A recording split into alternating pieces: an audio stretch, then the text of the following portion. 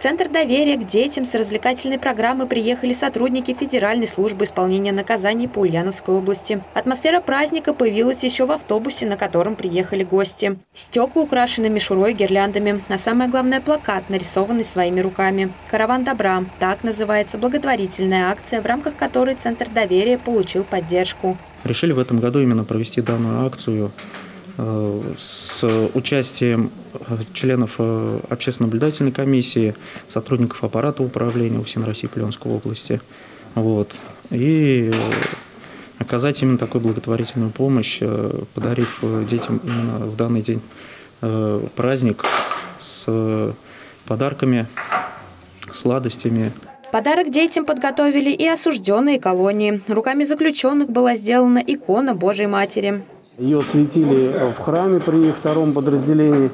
Э, батюшка, к сожалению, приехал, приехать не смог, но э, с наилучшими пожеланиями передал данную икону детскому дому. Она будет, э, икона Божьей Матери будет теперь здесь на постоянном хранении, то есть она будет как символом того, что детишки тоже защищены, то есть не только нами, да, но и Богом.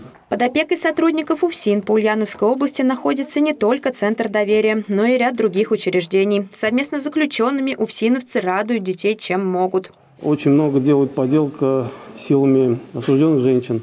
А, например, у нас и в Димитровграде, и в Ульяновске, в колониях поселениях отбывают наказание женщин, которые делают различные игрушки, и также мы передаем в детские дома.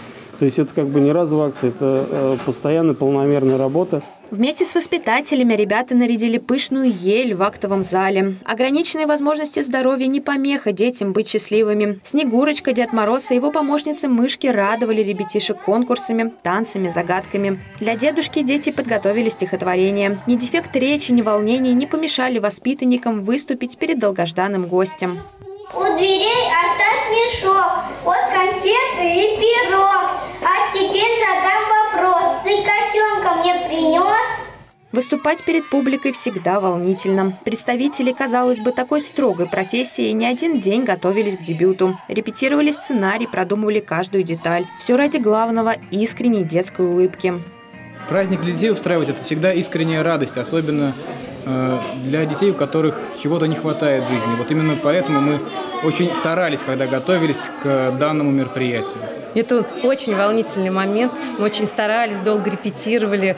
Э, меня переполняет вообще эмоции. Я первый раз участвую в таком мероприятии. Очень волнительно. В ответ на оказанную помощь от лица всего Центра сотрудникам УФСИН в торжественной обстановке подарили благодарственные письма. Всему вашему коллективу за такой прекрасный праздник – Детки поедут домой и дома своим родителям расскажут, какой праздник вы им подготовили. На будущее у сотрудников Федеральной службы исполнения наказаний много планов. Например, сделать благотворительную акцию ежегодной, радовать детишек не только в канун Нового года. Александра Никитина, Даниил Сурков. Новости. Улправда ТВ.